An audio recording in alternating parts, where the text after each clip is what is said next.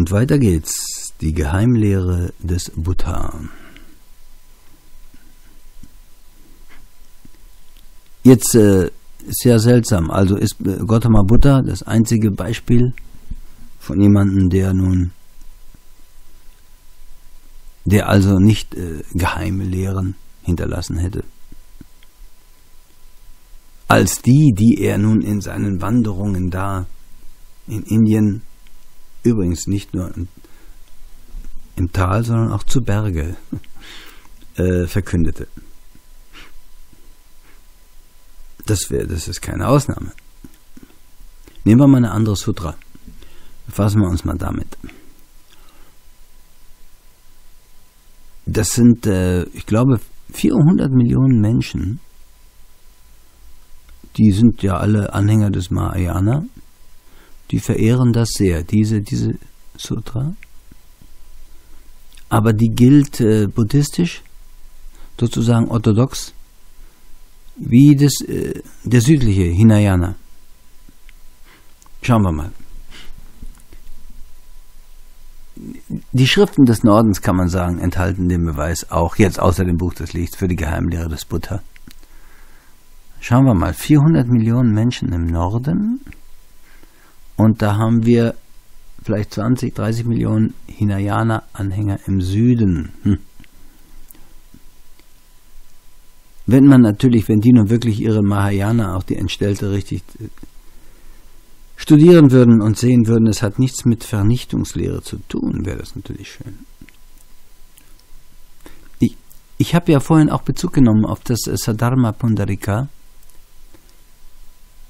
und da ist ja also in diesen Kapiteln auch hingewiesen auf die Geheimlehre des Buddha.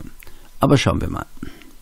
Der Buddha sagt, du bist erstaunt, Kasyapa, du bist erstaunt, dass du das von dem Tathagata erklärte Geheimnis nicht ergründen kannst.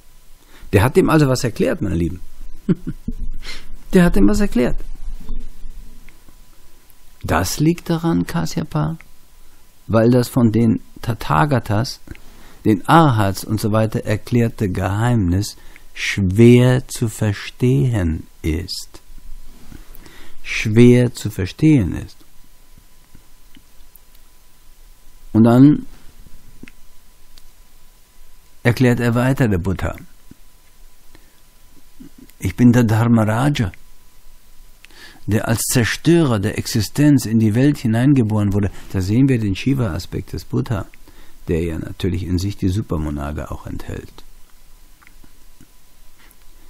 Diese Lehre des Buddha sagt ja, und das also ist ja auch von ihm ausgesprochen, dass die ganze Welt um uns herum ist unbeständig.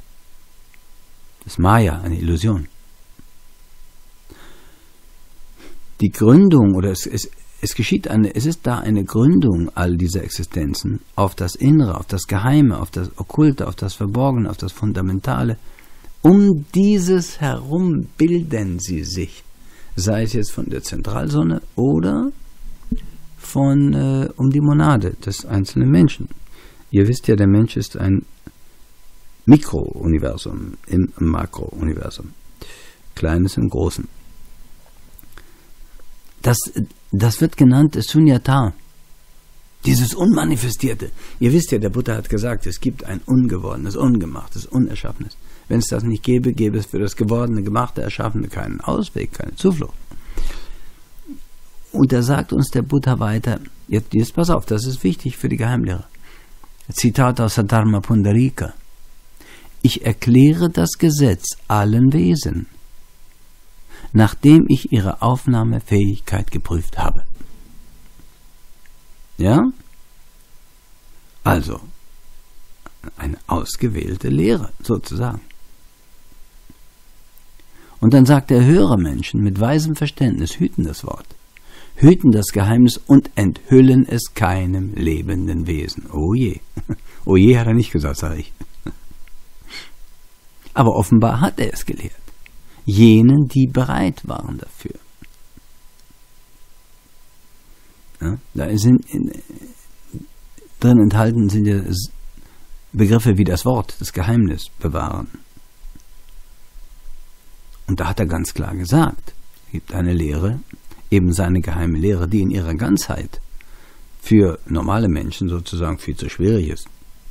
Die auch nicht nötig ist übrigens für ihre Befreiung, wie ich das öfteren schon erwähnt habe. Und er hat ja auch immer erst die Leute geprüft. Zum Beispiel einen König, ich habe den Namen vergessen, hat er gefragt, sag mal König, er wollte ihn prüfen, ob der intelligent überhaupt genug ist, um überhaupt nur die, die äußere Lehre zu verstehen. Da hat er ihn gefragt, König, gibt es außer deinen Verwandten und Nichtverwandten noch jemanden auf Erden? Sagt der König, ja, mich. da hat er erkannt, der König ist, hat zumindest ein gewisses Potenzial zu verstehen, wovon der Buddha redet. Hätte der König was Falsches geantwortet, die, hätte der König gesagt, ja, meine Oma oder ich weiß nicht, oder meine Schwiegermutter oder Schwiegertochter, dann hätte er gesagt, nee, dem sage ich das nicht, was ich ihm sagen wollte. Also so hat der Buddha immer geprüft, ja, ob man auch in der Lage war. Ja. Und, und wenn dann jemand das war, dann war es auch seine Pflicht, es nicht an lebende Wesen weiterzugeben, wenn sie nicht für den Empfang dieser Lehre wirklich äh, intellektuell bestückt waren. Ja?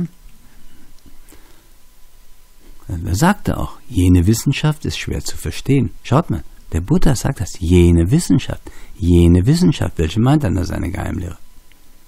Ist schwer zu verstehen. Die Einfältigen würden verstört werden, wenn sie diese plötzlich hörten.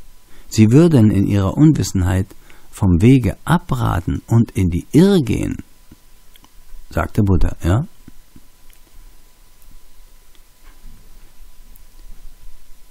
Und das sind also seine Worte. Da weist er ganz drauf hin, genau darauf hin, wo, wo, äh, will mal sehen, ob ich irgendwo finde, wo er das gesagt hat. Müsste ich nochmal nachschauen. Ich habe das jetzt nochmal so offen. Ja, also da müssen wir uns dann noch das, kann ich die Stelle nachschauen, die könnt ihr auch selber nachschauen, wo der das sagt. Ist alles im Buch des Lichts und auch im Sinn des Lebens Nirvana hm, war, da sagt der Buddha wörtlich diese Dinge, wörtlich, mein Lieben. Ja?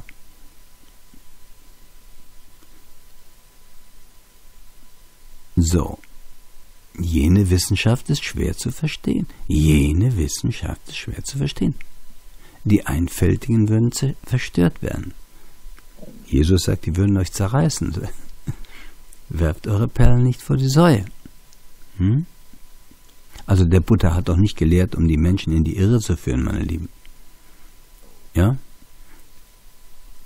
Das kann man nicht sagen sondern er hat es nur denen weitergegeben, die dafür geeignet waren. Ne? Also es gab diese innere Lehre, diese innere Lehre des Buddha. Dann sagen die dann ja, die Satarma Pundarika, äh, sagen die abendländischen Gelehrten, ist eine spätere Zeit, ein Werk von der mystischen Schule. Das mag schon sein, aber das entkräftet nicht, dass äh, eine solche Lehre der Beschränkung oder sagen wir der Zurückhaltung überhaupt nicht entstanden wäre, wenn nicht der nördliche Buddhismus schon diese okkulten Denkweise gehabt hätte und diese Anspielungen im, schon da waren. Und darum kann man sehr wohl sagen, nicht weil die Gelehrten sich dann immer, ja, das ist aber spätere Schule sehr wohl sagen, dass das äh, auf, die, auf die Zeit des Buddha und seiner Arhats zurückzuführen ist. Es ist, äh, das Buch des Lichts sagt auch, das ist auch ganz klar, dass später natürlich äh, spätere Erfindungen oder nur so Spekulationen, ja, das hätte man zurückgewiesen. Das ist alles Teil der Lehre. In allen großen Systemen zeigt es ganz klar, dass die Geheimlehre großer Gründer mit der Zeit dahin schwand. Deshalb auch das Buch des Lichts, um das wieder ganz klar in Erinnerung zu bringen.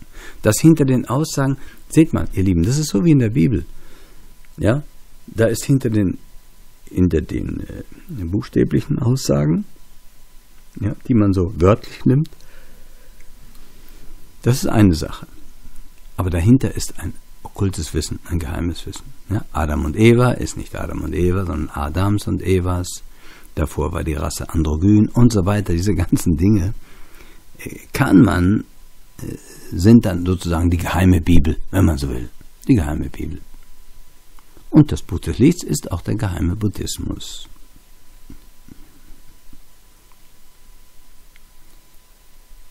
Und weil die dann da hinschwand, diese geheime Lehre, ja, dann waren später nur die Orthodoxen. Das waren dann theoretisierende Sachen.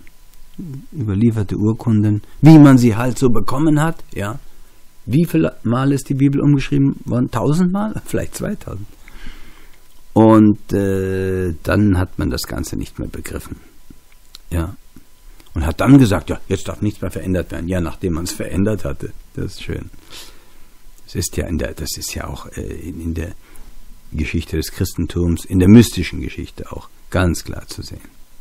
Seht mal, und ich wiederhole den Buddha, ich wiederhole ihn, ich spreche ihrem Horizont und ihren Fähigkeiten angemessen, mittels mannigfaltiger Bedeutung, sagt er, ja. Also man kann das, äh, die Bedeutung vertauschen in Parabeln, ja, so wie Jesus sagte, ich spreche zu ihnen in Parabeln, passe ich mich ihnen in meinen Ansichten an, oder Theorien, ja, sagt er, ich spreche ihrem Horizont und ihren Fähigkeiten angemessen, mittels mannigfacher Bedeutungen, mannigfaltiger Bedeutung, vertauschbarer Bedeutung oder Parabeln passe ich mich ihnen in meinen Ansichten oder Theorien an, sagt der Erhabene. Ja?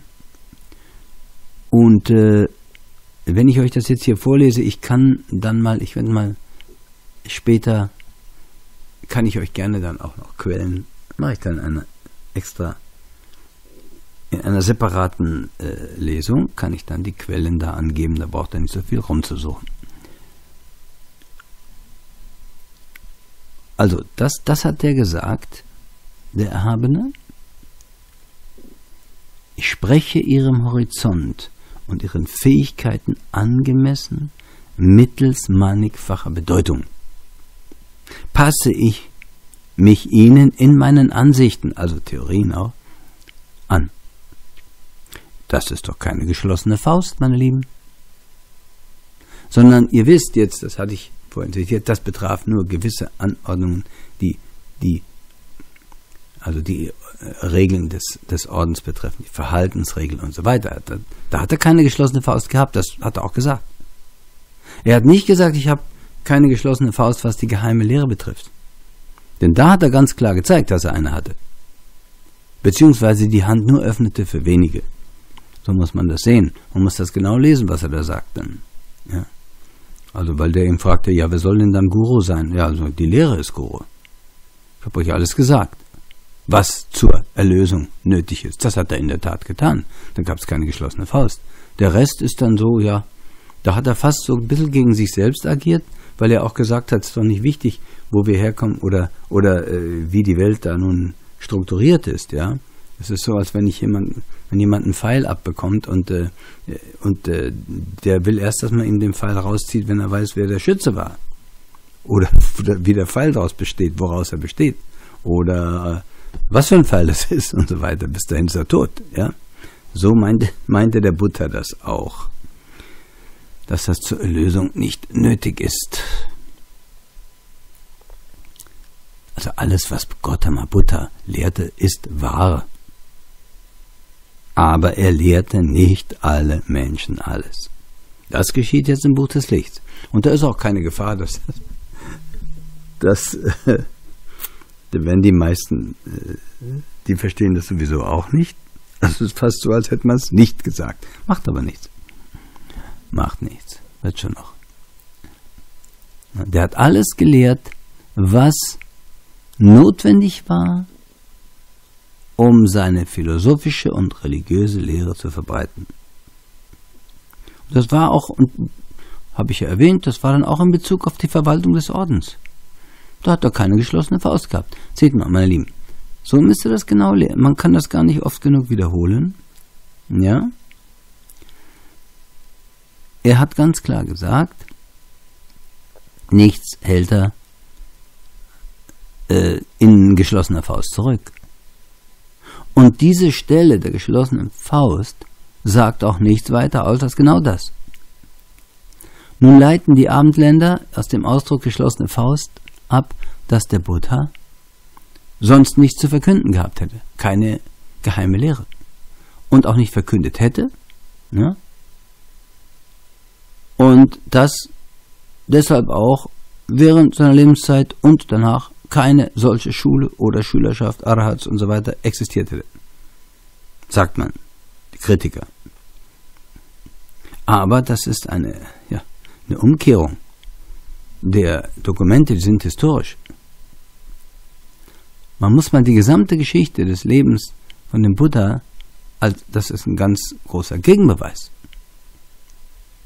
Wenn wir das ganze System des Mahayana des Nordens sehen, ganzen Variationen in verschiedenen Schulen, Nagarjuna, Arya Sangha und so weiter, die gehen ja alle, geben die ein, haben die eine esoterische Lehre, die alle darauf hinweisen, dass das nicht alles in jedem gegeben wird. Und das ist ein schöner Beweis für den Sinn oder ein überzeugender Beweis, dass in dem Buddhismus der frühen Zeiten eine solche Lehre, eine geheime Lehre des Buddha existiert hat. Ja? Und die muss man halt zurückführen auf Logik der Geschichte und Eigenheiten der menschlichen Natur und auf den großen Gründer, auf äh, Gautama Buddha. Schaut mal, da gibt es diese Mahaparinibbana Sutta. Das ist eine, eine große Schrift aus dem, aus dem äh, Süden, Mahaparinibbana Sutta. Und äh, da sind auch Stellen angeführt, da werden die Worte des Buddha also zitiert. Und da kann man natürlich sehen, wenn man das genau übersetzt, dass dies, was ich hier sage, bestätigt wird. Auch die, die Formulierung der Lehren in der schriftlichen Struktur. Wir haben auch eine, Nord eine Schrift des Nordens, die behauptet auch, sie ist, sind authentische Worte des Buddha. Ja? Warum soll man das beiseite schieben? Nur damit nun die Skeptiker recht haben. In diesem, äh, in diesem Nordwerk zum Beispiel steht ganz klar drin, dass die Lehre, man sie weitergeben soll, klug und sorgfältig. Aber nicht an alle Menschen. Nicht an alle Menschen. Und ein Weiser hat sie zu hüten und nicht zu enthüllen. Hm? Das ist natürlich im Buch des Lieds getan. Wer weiß, welches Karma das auf sich zieht, aber es ist halt so. Und äh, das ist dann auch wieder, führt das da zurück und sagt, ja, das muss mit den Schluckers, also den Versen, da muss man sehen, dass die, da muss man an die Urteilskraft des Lesers appellieren, ob der es überhaupt begreift. Nicht wahr? Das setzt man voraus. Das setzt man voraus. Und ich sage es euch ganz offen, meine Lieben, und das lehrt auch das Buch des Lichts, es gibt wohl keine große Philosophie oder Lehre, philosophische, sagen wir mal Religion, welche nicht ein Urwissen als Anfang hatte, eine geheime Lehre, okkult. Ja? Und das Gegenteil wird nicht dadurch bewiesen, dass diese Lehre nicht richtig verstanden wird oder nicht von allen erkannt wird oder auch in einigen Religionen vergessen wurde. Dafür ist ja das Buch des da. Das, Entschuldigt, es ist schon sehr früh oder sehr spät. Äh, dafür ist ja das Buch des Lichts da, um dies äh, wieder zu erwecken. Im nächsten Vortrag haben wir wieder ein paar Einwendungen. Wir müssen ja alles betrachten, von, von allen Seiten her die Geheimlehre des Buddha versuchen zu enthüllen. Und dann überlasse ich es natürlich eurem Urteil, ob der Buddha eine Geheimlehre hatte oder nicht. Die wird im Buch des Lichts präsentiert.